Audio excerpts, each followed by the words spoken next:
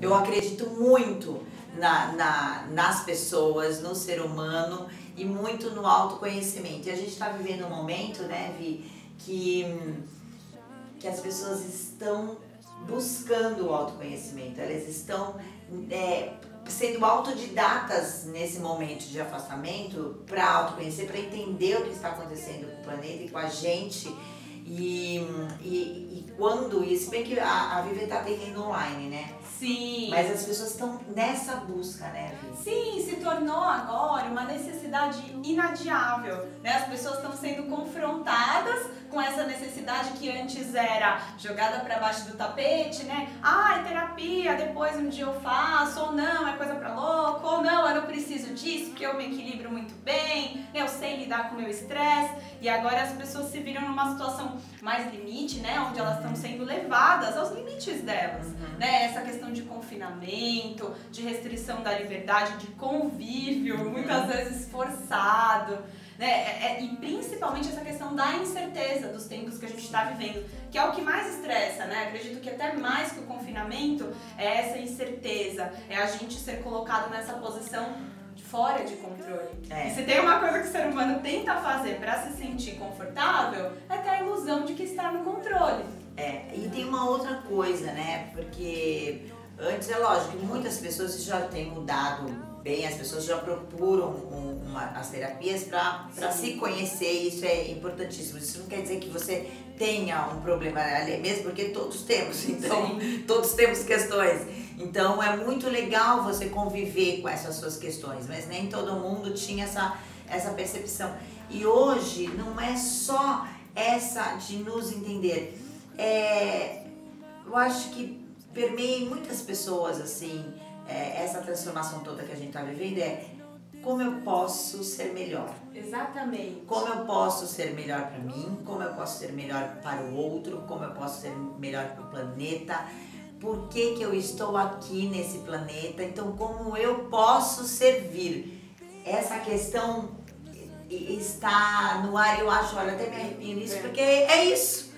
Nós viemos aqui para ser, então muitas pessoas estavam no piloto automático e não tinha essa percepção quem eu sou mesmo, né? Seja você, mas como que eu vou ser e servir? É, e aí a gente entra na questão da massificação que a gente vinha Sim. vivendo, né? De valores que vão sendo impostos pela mídia, pela sociedade, uma fórmula do bem viver, né? A ditadura do sucesso, a ditadura da beleza. Então você tem que fazer assim assado, né? Agora você tem que trabalhar, depois que você conquistou tal sonho, você tem que ir pro próximo e tem que casar e ter filho e estudar e ter títulos e sempre é uma busca incessante, Sim. né? Por ter e que muitas vezes não faziam sentido para cada um, Uhum. né? É- Eram, são, eram valores é, massificados. Que a sociedade pessoas esperava de você. Exatamente. E agora as pessoas, né, é, tá tudo parando e elas estão tendo tempo de sair dessa, desse frenesi, né, e olhar pra dentro e falar o que faz sentido pra mim. Porque se tudo isso acabar, se todo esse sistema, esse esquema que se formou até agora não funcionar mais, que eu vou fazer? Pra onde eu vou? O que ainda faz sentido? E aí a gente retorna pra essa bússola interna.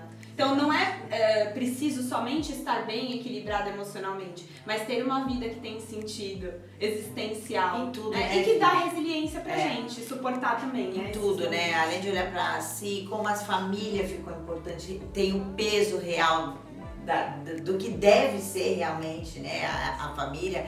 E justamente é, a- essa, esse olhar da conexão com a natureza, o, o, o, que, o que realmente eu preciso nesse momento. Exatamente, sair dos excessos, É. né? A gente, a gente se que é ocupava preciso, muito né? com, a- É. com coisas excessivas Sim. que não eram necessárias. Então é um momento de reflexão do que é essencial. É. E aí esse essencial, é- é- a gente precisa do autoconhecimento.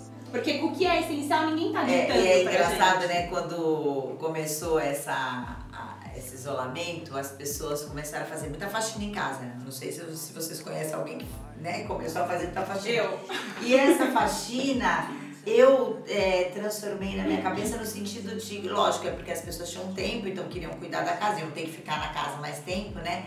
Mas é uma faxina que começou externa. Mas agora nós já estamos no momento de fazer a faxina interna, né? E é, e é isso que a gente. Eu tô louca pra voltar com a casa Tudo de Bom, porque tudo que a gente pensou e sonhou, e imaginou e que já sabia que a humanidade precisava, por isso que a Casa Tudo de Bom tá aqui, ela vai vir justamente com pessoas como a Vivian, como a Sirena, que cuidam dessa parte de dentro né, da, da gente, justamente é, para atender esse novo chamado da humanidade, né? Sim, essa demanda, né? Se realmente cada um, né? E não só pensando em coletividade, por exemplo, ah, o homem tem que mudar, a humanidade tem que mudar. Mas se a gente ficar delegando isso para alguém, para uma Não. entidade vaga, nada vai acontecer, né? O coletivo só vai mudar se cada um atender esse chamado individualmente, né? E expandir a consciência do que realmente é essencial. E a saída está dentro. É. Né? E aí, com certeza, a nossa casa vai ser É,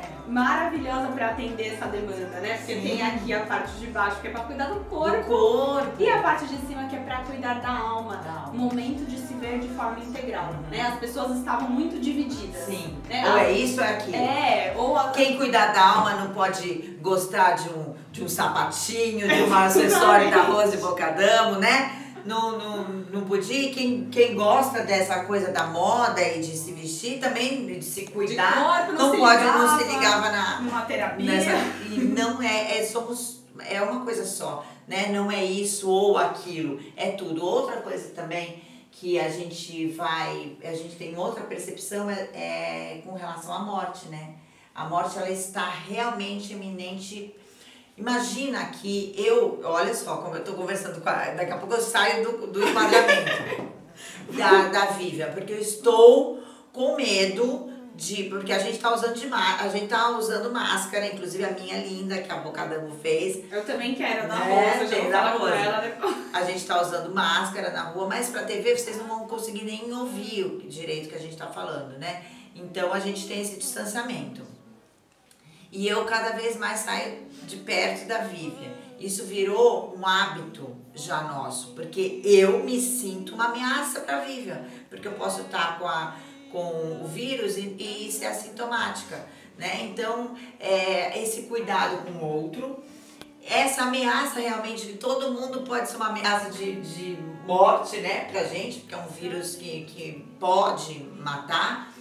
E, e essa, essa, essa, essa real sensação de, nossa, se chegar perto de mim, o meu amigo, aí a gente começa a ouvir quem, muitas pessoas perto da gente, né, que morrem. Então, esse olhar para a morte também mudou um pouco, né?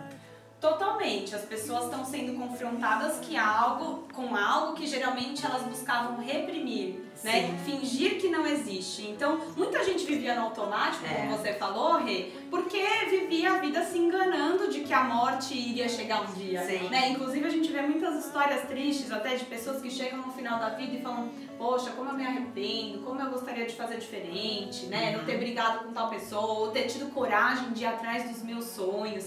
E a morte, quando ela fica mais eminente dessa forma, da mesma forma que é, vem um sentimento de ameaça profundo, ela é uma grande oportunidade Sim. da gente refletir sobre como a gente está vivendo, como valorizar essa vida e fazê-la valer a pena no agora, Sim. não só no futuro. O estado presente, né? Realmente, né, Vi? Porque a gente não sabe nem o que vai ser no futuro.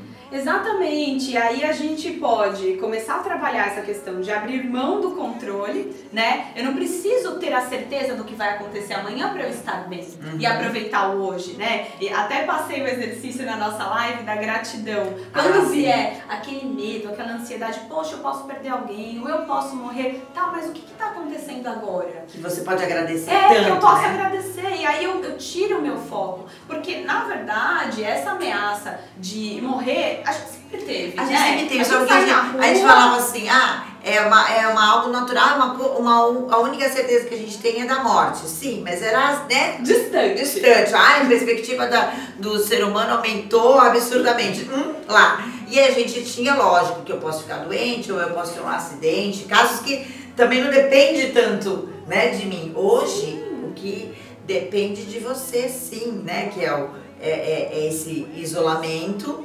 Quem pode fazer essa preservação, o uso de máscaras, a higiene das mãos o tempo inteiro. Então, essas pequenas coisas podem ser feitas realmente. Isso, isso está no controle. Mas aí é uma oportunidade de a gente refletir sobre É. a parte que não está no controle E que como, pode acontecer. Como a gente lida com isso, É. que é como a gente já lidava, né? Ah, eu somente ficava tranquila porque eu não pensava na morte, eu fingia que não poderia acontecer, aí eu ficava equilibrada. Não, a gente pode até se inspirar na visão oriental, né? Que Sim. é tão diferente da morte. Eles trabalham com o conceito de morte com uma aceitação, Uhum. né? Integrando, a morte faz parte da vida, Uhum. né? Gente precisa, eu, né, eu como terapeuta transpessoal acredito que a gente precisa acolher mais a Sim. ideia da morte e aceitá-la como parte, né?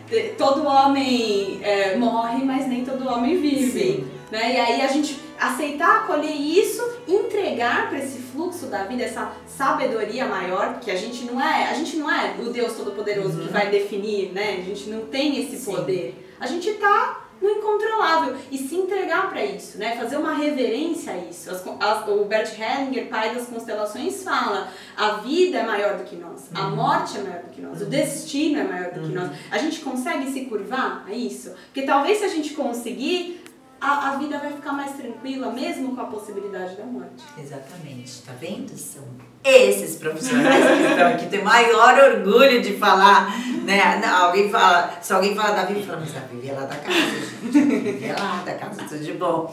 E é lógico, então, orgulho e honra de estar Ah, aqui. Imagina, e, e é legal que vocês podem ter a Vivi agora, pode levar a Vivi para sua casa. inclusive. Pelo online, ó. Mas é, é- isso é uma das formas que os terapeutas não puderam parar de trabalhar, principalmente agora, nesse momento que as pessoas precisam tanto, né? Então tem o online, que isso é, é incrível, e o atendimento presencial é, será aqui na casa Tudo de Bom e a gente não vê a hora disso acontecer. Mas... Provavelmente a partir de maio. É, a gente quer é, abrir logo para atender vocês, a gente tá louco pra, pra.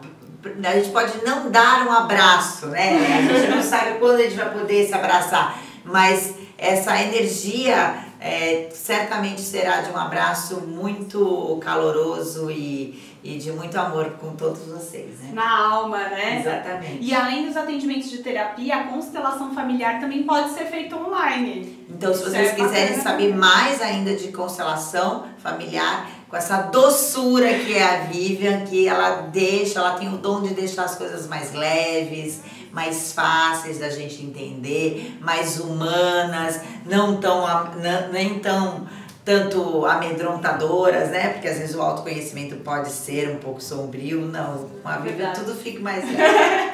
Verdade, obrigada.